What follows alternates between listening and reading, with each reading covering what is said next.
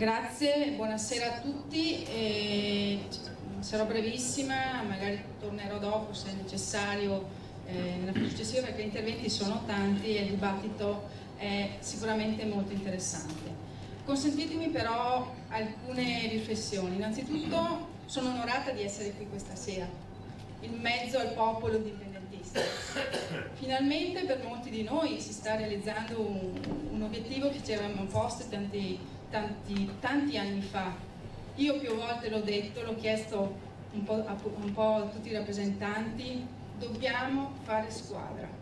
Abbiamo lo stesso obiettivo come partiti politici, movimenti, eh, di raggiungere l'indipendenza della nostra regione. Quindi ognuno di noi, ognuno di voi può votare quello che vuole quando andrà a votare, ma quando si parla di indipendenza, quando si parlerà di referendum, noi qui, qui dentro siamo tutti amici.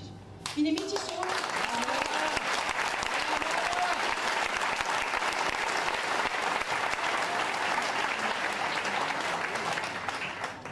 possiamo e non dobbiamo essere gelosi tra di noi, la battaglia da fare è importante e ora più che mai dobbiamo veramente combattere nella stessa direzione. È già stato detto, la strada è tracciata, ma è ancora molto complicata e ancora troveremo molti ostacoli, ma mai si è partiti e si è partiti tutti insieme.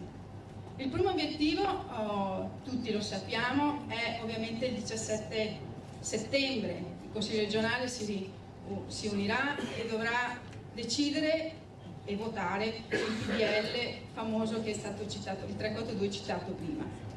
Ora, qui eh, sappiamo benissimo che, che eh, non è scontata la cosa, sappiamo benissimo che alcuni partiti, la Lega, come Furlanetto, come tanti altri consiglieri regionali si sono già schierati in maniera molto chiara, Pete no, Valle Gambri, e sappiamo cosa faranno quel giorno. Molti altri no, non l'hanno ancora fatto, stanno tentando di bloccare la stessa discussione. Ecco, ognuno di noi deve in questa fase eh, tentare di convincere quel Consiglio regionale.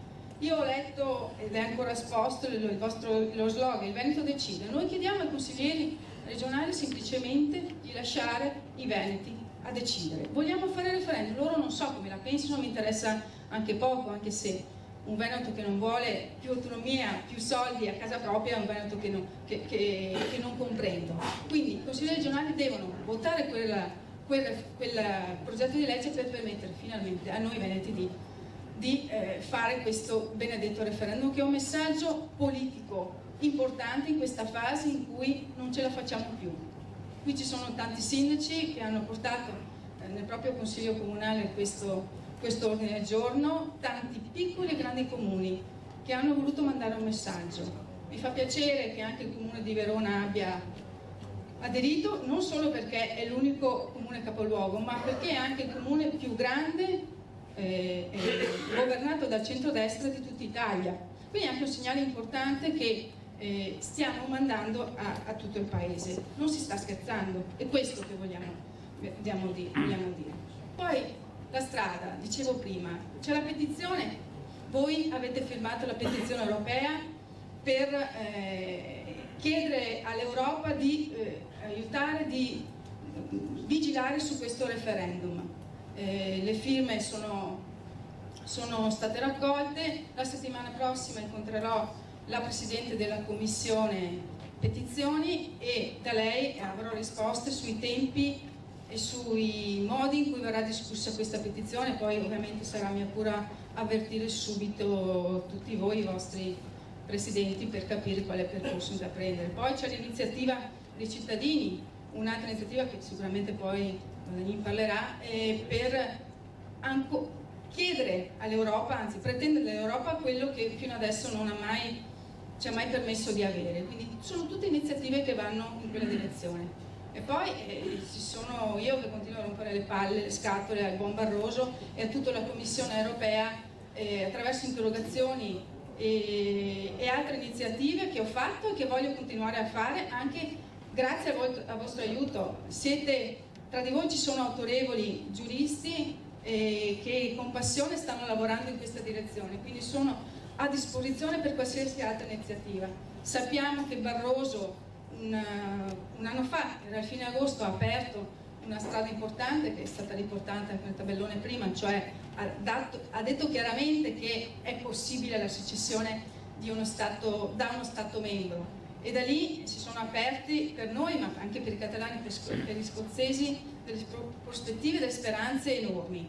È anche vero però che da quel momento l'Europa ha cominciato ad aver paura e alle interrogazioni successive ha risposto in maniera meno chiara e meno entusiasta. Questo però non ci deve fermare, anche perché l'Europa così come l'abbiamo vista fino adesso sta fallendo, è fallita, continua a prendere poteri dagli Stati membri, quindi adesso le nazioni sono, sono senza, senza cuore.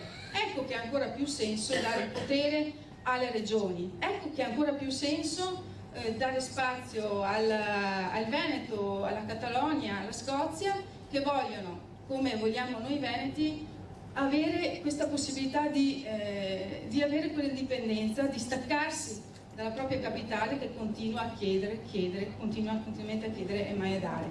È un momento economico troppo difficile per eh, non capire che o è adesso o mai più. Quindi è il momento di lottare fino in fondo, tutti assieme, nelle varie sedi eh, che, che, abbiamo davanti e sappiate che ognuno di voi ha un compito importante perché poi dobbiamo convincere 5 milioni di veneti a votare per quel referendum. Quindi qui ci sono le associazioni, ci sono le varie persone, ma ognuno di noi ha quel compito successivo che è altrettanto fondamentale. Quindi grazie di cuore per quello che avete fatto, ma soprattutto buon lavoro a tutti noi per quello che avete fatto.